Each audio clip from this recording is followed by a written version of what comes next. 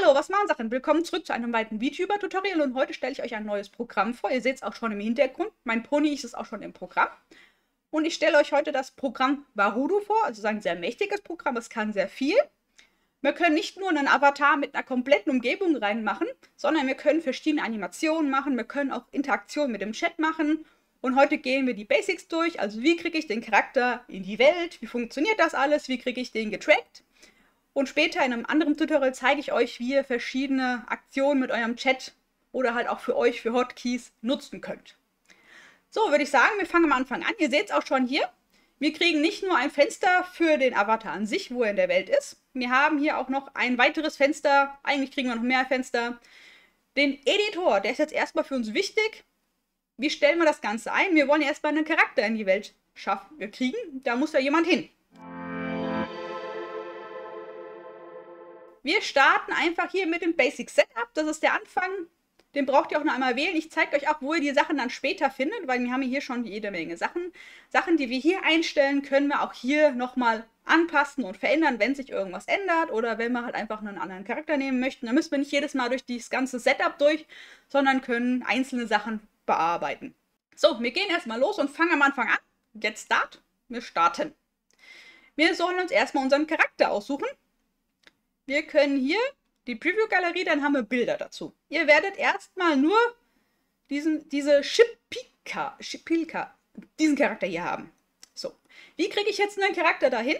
Wir haben hier unten noch einen weiteren Button, da steht Charakterfolder. Den drücken wir an. Und dann kriegen wir ein Fenster. Da ist es schon. Und hier sind unsere Charaktere drin. Alle Charaktere, die ihr nutzen möchtet. Ihr könnt auch, wie ihr seht, hier mehrere Charaktere reinladen packen wir einfach in den Ordner und dann sind die in dem Programm zugänglich. Hier aufpassen, es funktionieren nur diese Standard-VM-Charaktere oder Varudo-Charaktere. Habt ihr ein anderes Format, sei es FBX oder sei es VC-Face-Avatare, die funktionieren hier nicht. Wirklich nur diese Varudo, die bekommt ihr mithilfe einer SDK, da werden wir in einem anderen Tutorial auch mal drüber gehen. Oder dann halt über den Standard VRM, den man in allen anderen 3D-VTuber-Tracking-Programmen nutzt. Einfach hier reinladen und dann könnt ihr den schon auswählen. Wie gesagt, ihr könnt hier einfach den Namen auswählen oder wenn ihr halt einfach ein Bild sehen möchtet, das Bild, was ihr reingeladen habt, könnt ihr dann auswählen. Wir bleiben beim Pony und sagen, okay. Dann kommen wir die Frage, äh, wie möchten wir das Motion Capturing konfigurieren? Äh, sollen wir was vom Programm ausgewählt bekommen? Ich persönlich äh, würde das nicht empfehlen. Es nimmt dann wahllos eine Kamera Oft wird bei mir die OBS virtuelle Kamera dann genommen. Ihr geht leichter, wenn ihr sagt, nee, ich möchte mir das aussuchen. Dann habt ihr einfach eine größere Auswahl, das funktioniert besser. Sagen, okay. So, dann kommen wir zum ersten, das Face-Tracking, also das, ja, das Standard-Face-Tracking. Über was machen wir das? Da kommen wir hier erstmal eine ganze Reihe an Möglichkeiten. Wir haben hier zwei Möglichkeiten über die Webcam. Je nachdem, wie es für euch am besten gefällt. Also das könnt ihr ausprobieren, welches Tracking ihr am liebsten mögt, könnt ihr das nehmen. Habt ihr ein iPad, habt ihr auch noch zwei zusätzliche Möglichkeiten. Das sind dann iPad-Apps, die ihr nutzen könnt. Einmal das iFacial Mocap, die persönlich nutze ich ganz gerne. Die funktioniert auch wunderbar dann in VC Face. Dann habt ihr eine App für vieles. Das Rhyme Live habe ich persönlich noch nicht ausprobiert. Das könnt ihr auch, wenn ihr sie habt, auch gerne nutzen. Will euch da nicht aufhalten. Und man kann auch andere Programme, die über den VRM-Verbindung sind, einstellen, wie auch hier VC Face. Ich persönlich finde es immer ein bisschen schwierig, wenn man mehrere Programme öffnet, um dann eins zu nutzen. Deswegen mag ich Varudo, weil wir hier alles nutzen können. Deswegen, wenn ihr eins von den ersten vier nimmt, fahrt ihr eigentlich immer ganz gut.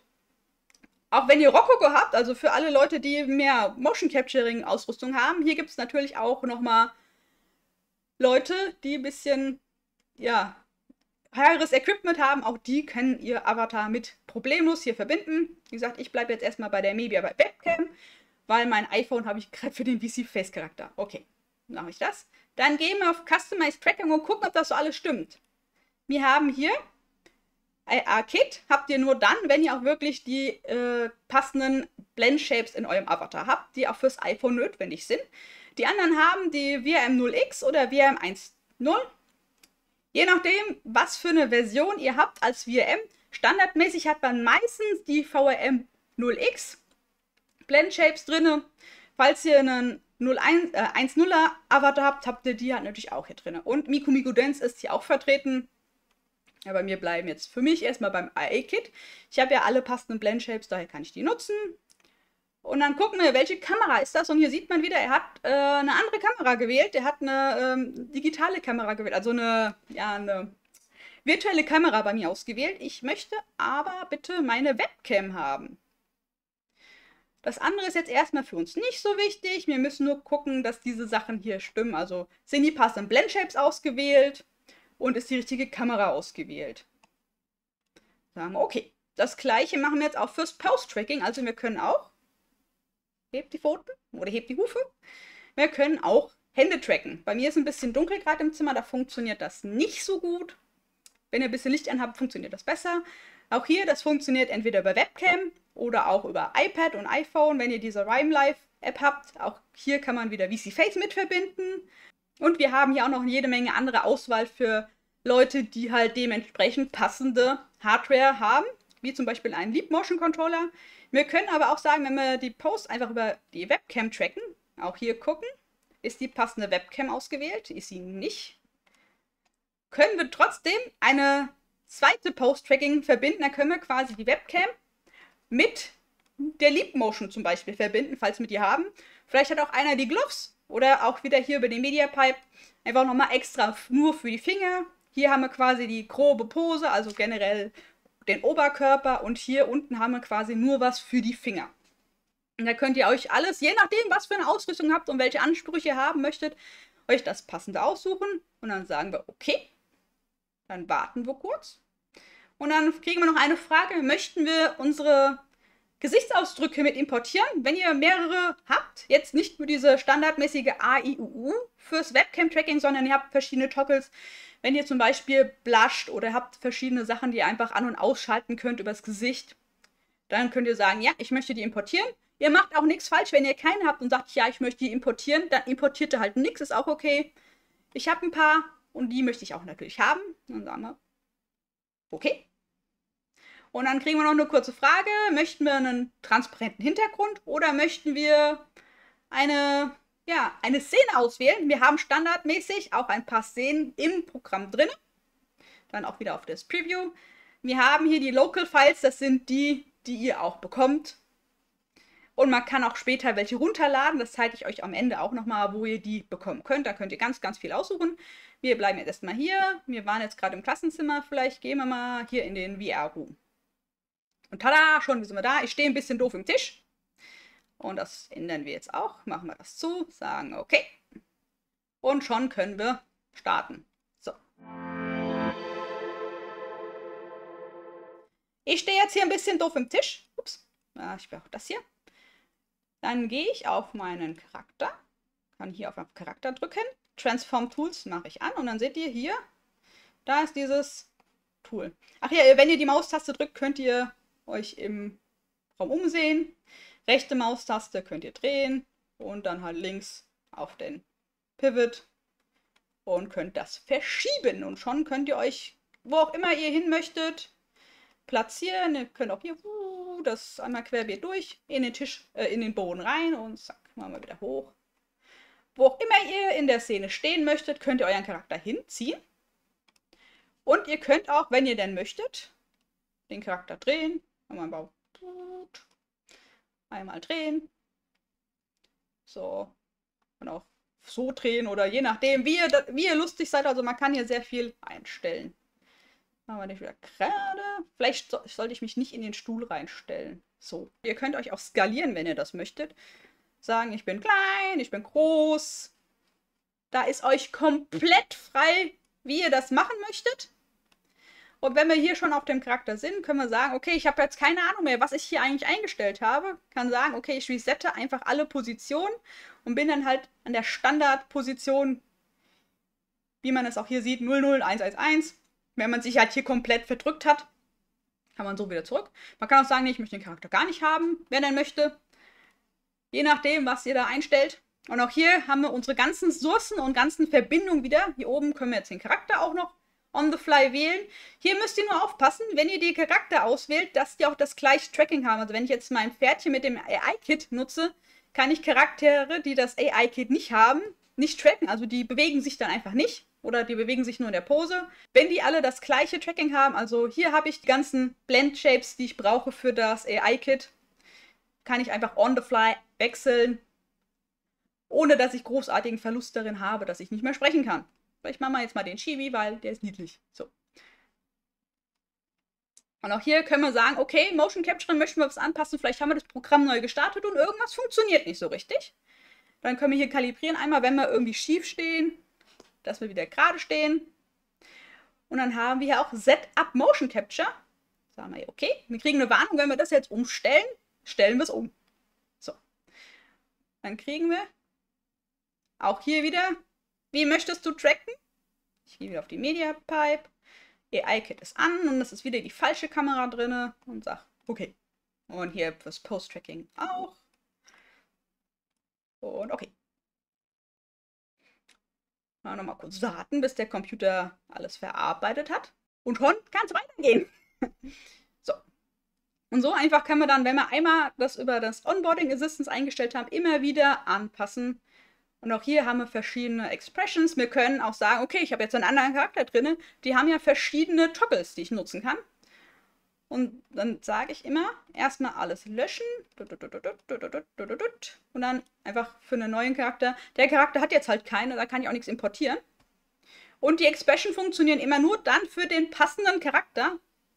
Da müsst ihr ein bisschen aufpassen, wenn ihr verschiedene Blendshapes habt, die ihr an- und ausschaltet. Und eine Sache, die finde ich super, super toll in dem Programm. Wir können auch Animationen nutzen. Wir haben auch standardmäßig ganz, ganz viele Animationen da. Und wir können uns auch neue Animationen runterladen. Wenn wir sehen, man kann hier ganz viel einfach einstellen und ganz viel machen und die lustigsten Posen für Bilder oder auch für Streaming nutzen. Je nachdem, wie ihr dastehen möchtet, kann man die benutzen. Das ist ein Vorteil der VTube-Charaktere. Die haben ja alle das gleiche Rig, also einen gleichen Rig-Aufbau. Da kann man einfach verschiedene Posen miteinander benutzen. Können wir uns mal hinsetzen. Tada! Da kann man jede Menge mit Spaß haben. Ich habe auch jede Menge Spaß mit mit den Animationen und versuche ein paar Bilder zu machen. Und wir haben natürlich auch noch jede Menge andere Sachen, die wir einstellen könnt. Die könnt ihr in Ruhe mal durchgehen, aber das meiste ist jetzt für den Anfang erstmal nicht wichtig. Das sind halt so Feinheiten, die man einstellen kann, wie zum Beispiel hier die Atmungsanimation. Möchte ich eine haben? Wie stark soll ich atmen und wie nicht? Und jede Menge andere Einstellungsmöglichkeiten. Wie gesagt, ähm, ist eine Sache, ist eher was für dann halt Leute, die ein bisschen Erfahrung haben mit dem ganzen 3D-Quatsch. Oder ihr probiert das einfach ein bisschen aus. Ja, und nicht nur unseren Charakter kann man im Nachhinein auch noch anpassen, natürlich auch unsere Umgebung. Dazu gehen wir auf Environment, das ist unsere Umgebung. Und auch hier können wir jede Menge einstellen. Man kann sie natürlich ein- und ausschalten. Auch äh, welchen Raum wir haben möchten ist hier. Dann können wir natürlich auch noch jede Menge andere Sachen einstellen. Wenn man jetzt halt zum Beispiel streamen möchte und man merkt, okay, der PC kommt nicht so direkt dahinter, aber ich möchte unbedingt eine Umgebung haben, dann kann man sagen, okay, ich mache die Lichter zum Beispiel aus und es ist schon eine Möglichkeit, dass der Stream besser läuft, weil Licht sind auch eine Sache, die halt die Leistung des PCs doch sehr beanspruchen. Wenn ihr Bilder macht, ist es natürlich nicht so das, was ihr braucht. Aber halt für Stream wäre das vielleicht eine Möglichkeit. Auch hier haben wir noch ein paar Möglichkeiten, wie man einfach mit der Raumfarbe arbeiten kann. Zum Beispiel mit der Ambient wäre das. Okay, das Skybox ist jetzt halt hier nicht so geil, weil ich bin nicht in einem Außenbereich. Da kann man einfach noch einen Tint drüber legen. Funktioniert halt, äh, wenn man in einem Außenbereich ist, besser, wie man drin ist. Da könnt ihr ein bisschen drin rumspielen und gucken, wie euch das gefällt. Und alles kann man immer wieder zurücksetzen, wenn man Reset drückt. Das gleiche funktioniert natürlich auch mit dem Licht. Ich habe mir hier noch ein zusätzliches Licht reingeholt für meinen Charakter, wenn ich halt ähm, den Charakter nur als Avatar tracke und nicht mit einer Umgebung, damit ich ein bisschen ausgeleuchtet habe. Auch hier kann man jede Menge Sachen einstellen. Die Lichtfarbe, die Lichtintensität. Kann man hier sagen, ich möchte ein bisschen mehr. Gut, es ist jetzt bei dem Shader auch schwierig. Ich habe einen Toon-Shader drauf, da tut sich nicht so viel, wenn ihr jetzt einen Charakter habt, der einen anderen Shader hat. Wir hier. Äh, welche Version war jetzt die ohne Toon-Shader? Das war Toon-Shader. Das war der normale. Da sieht man das ein bisschen besser, wenn man hier mit dem Licht spielt. Kann man sagen, funktioniert halt mit einem Standard-Shader besser wie mit dem Toon-Shader. Dann haben wir hier einen kleinen Farb... Ja, ein Farblicht. Farbliches Licht. Ah, hier, keine Ahnung, machen wir es bläulich. Funktioniert, wie gesagt, mit dem Toon-Shader, habt ihr ja gerade gesehen, nicht so gut. Auch hier die Lichtstärke können wir anpassen, hell, dunkel. Je nachdem, wie wir es möchten. Und wie gesagt, wenn wir äh, uns nicht mehr wissen, wie der Standard war oder wie wir es zurücksetzen können, auch hier. Wir können auch sagen, nö, uns, unser Licht interessiert uns gar nicht für den Charakter. Wir wollen nur das Licht der Umgebung haben. Wir können auch sagen, wenn ihr Props reinladet, können wir auch sagen, möchten wir die aktivieren. Das zeige ich euch auch noch gleich, wie man halt zusätzliche Sachen noch reinkriegt. Oder ob das Licht auch mit der Umgebung reagiert. Meistens habe ich das aus, weil die meisten Umgebungen haben schon ein Licht drinne. Da braucht man es jetzt nicht so. Auch hier haben wir Schatten, ja, nein, etc. Kann man hier jedes Menge ausholen. Wir können auch sagen, möchten wir härtere Schatten oder nicht. Das kommt dann immer ganz aufs Modell drauf an, wie ihr das einstellen möchtet oder wie euch das persönlich gefällt. Probiert euch aus, wie euch das äh, passt. Und auch in der Kamera kann man ein paar Sachen einstellen. Einmal, wie die Kamera an sich funktioniert. Oh, jetzt habe ich sie gelockt, da funktioniert sie gar nicht. Dass jetzt halt eine freie Kamera ist und man mit WASD hier durchfliegen kann. Oder ob sie halt den Charakter als Zentrum hat.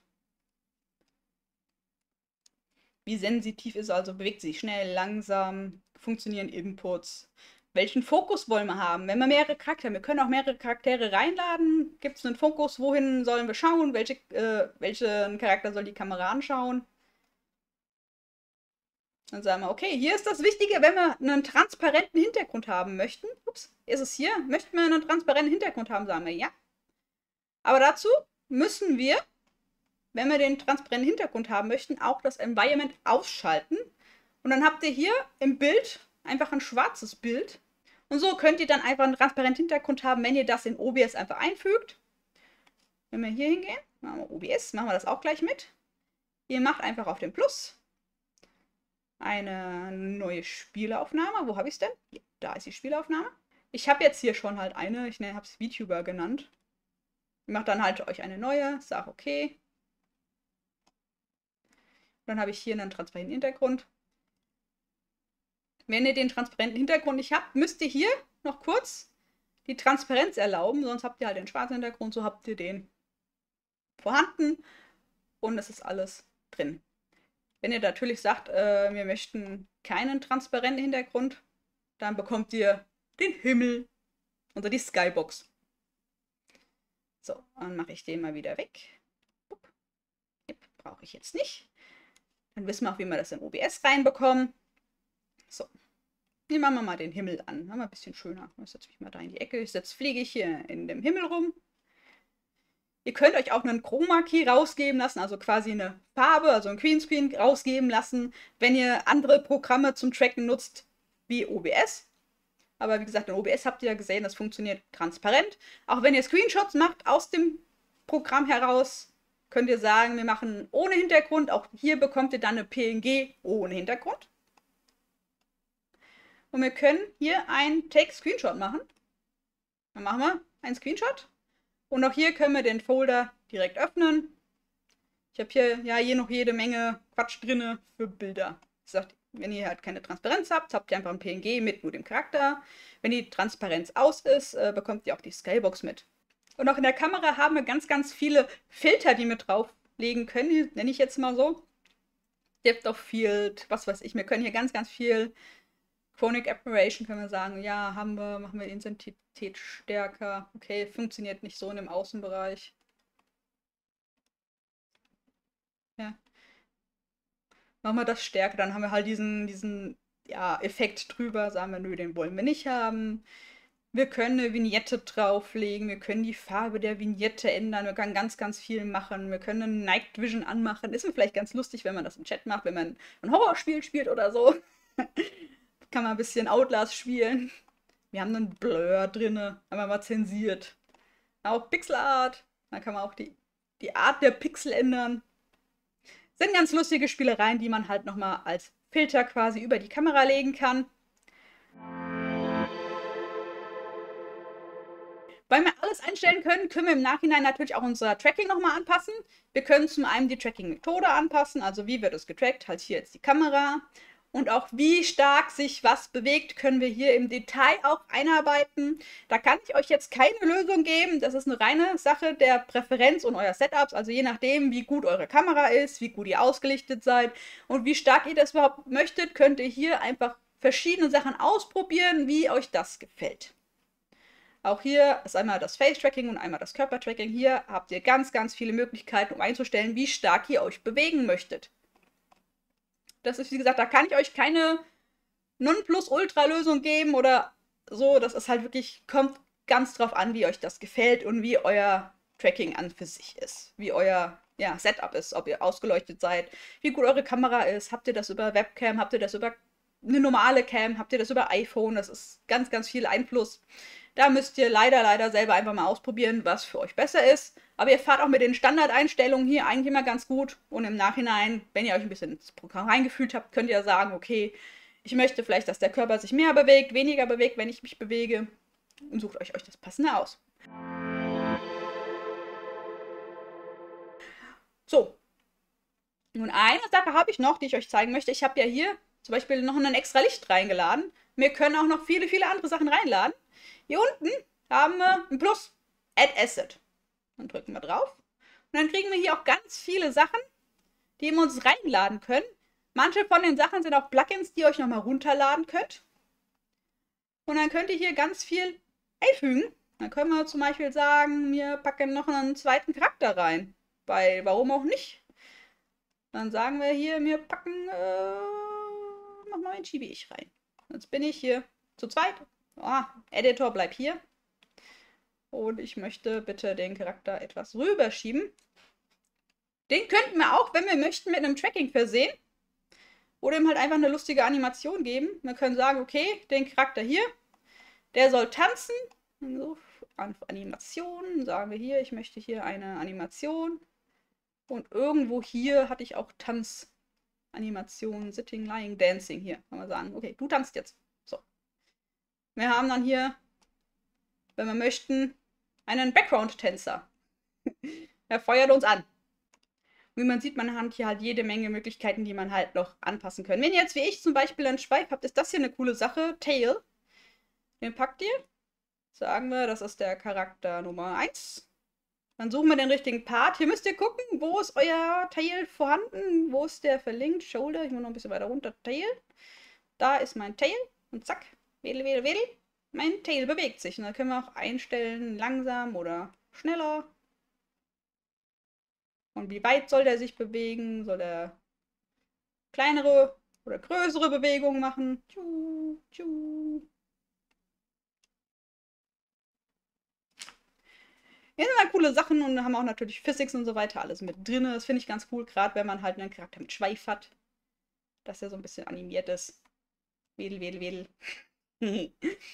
ja. Und dann sage ich, ich könnte hier auch noch einen Pop reinladen, einfach einen Asset. Dann brauchen wir natürlich erstmal einen Asset. Ich habe hier ganz, ganz viel äh, Quatsch runtergeladen, aber hier haben wir auch die Standarddinger. Also so ein Ochsen. Da, guck, jetzt habe ich ein Stofftier. Den lasse ich jetzt auch einfach mal da. Eine coole Sache finde ich auch. Ich bin ja ein Fan davon, wenn man halt äh, in einem Programm viele Sachen kann. Man kann hier auch einen Bildschirm hier einfügen. Wir gehen auf Screen und wir sagen, wir möchten das Display, also ich möchte meinen Bildschirm haben. Wir können aber auch sagen, ich möchte einen Browser drauf haben, Video oder ein Image. Aber ich möchte jetzt einfach mal einen Bildschirm haben. Gehe ich auf Display, sage, ich möchte Display 1. Jetzt habe ich hier ja, meinen Bildschirm. Und auch über die Transform Tools können wir den ja, noch ein Stück zurück. Können wir den hier in den Hintergrund packen. Da macht es das Streaming doch ganz einfach, wenn man alles in einem Programm hat und da die Kontrolle drüber hat. Man kann ja dann, wenn man mehrere Bildschirme hat, das hier auf dem zweiten Bildschirm legen und dann halt äh, Sachen im Nachhinein noch anpassen. Falls man zum Beispiel jetzt irgendwie Videos anschauen möchte oder spielen möchte, kann man das halt so zeigen. Oder dann halt auch ausschalten, wenn wir sagen, okay, wir möchten das kurz ausschalten, sagen wir nö. Und dann machen wir es wieder an. Machen wir ja und nein, ja und nein. Auch hier können wir noch den Radius einstellen, wie das sich bewegt. Man kann ganz viel Quatsch mit den Sachen machen. Wir können auch hier einen Rahmen hinzufügen. Kann ganz nice aussehen. Wir können auch sagen, okay, ich möchte hier, äh, es ist mir zu hell, ich möchte grün oder ich möchte irgendwie einen Filter hier drauflegen. Ist alles möglich, kann man alles machen. Man kann auch sagen, äh, man möchte einen Chroma Key haben und alles mögliche. Wie gesagt, man kann hier alles einfügen. Man kann ganz, ganz viel Spaß mit den Sachen haben. Wie ihr seht, man kann hier quasi alles reinladen, wie ihr denn möchtet. Und ganz zum Schluss möchte ich euch noch zeigen, wie ihr Sachen von der Community bekommt. Es gibt ja, ihr habt ja gesehen, ich habe noch ganz, ganz viele zusätzliche Sachen, die werdet ihr im ersten Mal nicht drin haben. Ihr könnt auch viele, viele Sachen einfach von der Barudo Community euch runterladen. Dann gehen wir hier auf Discover, auf diese Lampe und dann kriegen wir ganz, ganz viel. Gibt es von Charakteren über Umgebungen, alles Mögliche, was ihr euch nach Herzenslust runterladen könnt. Wir haben auch hier Props, also so wie jetzt ich den Ochsen hier drin habe, können wir hier alles Mögliche, kann man sagen. Ich möchte hier die Pokebälle haben. Dann gehen wir auf Subscribe und dann ladet ihr das runter. Und das Coole ist, dadurch, dass das mit Steam verbunden ist, wenn ihr euch das einmal runtergeladen habt, habt ihr das in Steam mit abgespeichert. Sprich, wenn ihr mehrere PCs habt oder ihr seid im Urlaub oder so und ihr möchtet eure ganzen Sachen mitnehmen, ist das auf Steam gespeichert. Ihr müsst nur, wenn ihr die Szene nehmen möchtet, wie ihr sie habt, unter Menü, Save Scene, müsst ihr die Szene mitnehmen, dann ist euer Hintergrund oder das, was wir hier aufgebaut haben, gespeichert. Ansonsten müsst ihr das halt nochmal separat machen. Aber alles, was ihr euch hier runterladet, habt ihr für immer in Steam mit runtergeladen und gesagt, hier gibt es jede Menge. Wir haben auch Plugins, wo man halt verschiedene Effekte und hier diese Notes, da werden wir dann im nächsten Tutorial mal drüber gehen, was hat das mit diesen Note auf sich, wie kann ich meinen Twitch-Chat und meinen YouTube-Chat mit unserer Szene verbinden, die können ja auch lustige Sachen machen. Hier schauen wir uns den nächsten an. Und auch hier unter Miscellaneous hat man dann Tänze, Posen etc., die man hier sich auch runterladen kann und dann unter Animation abspielen kann. Ganz, ganz, ganz, ganz viel. Und wir werden uns auch im Laufe der Zeit auch mal anschauen, wie kriege ich denn eigene Animationen, eigene Sachen, die ich gemacht habe, überhaupt hier rein, falls ich ja für mich was gemacht habe oder auch für die Community. Ich sage, das wird hier alles geteilt. Wie kriege ich das dann halt dahin, dass ich hier auch Sachen reinladen kann? Da schauen wir uns dann halt in einem separaten Video auch an. So, ich weiß, das Tutorial war lang. Ich habe euch viel gezeigt. Und ich hoffe, ich habe euch alles erklären können. Wenn ihr noch weitere Fragen habt, schreibt ruhig unten in die Kommentare, wenn ich was vergessen habe. Und dann wünsche ich euch viel Spaß mit Varudo. Probiert das unbedingt mal aus und wir sehen uns dann im nächsten Tutorial wieder.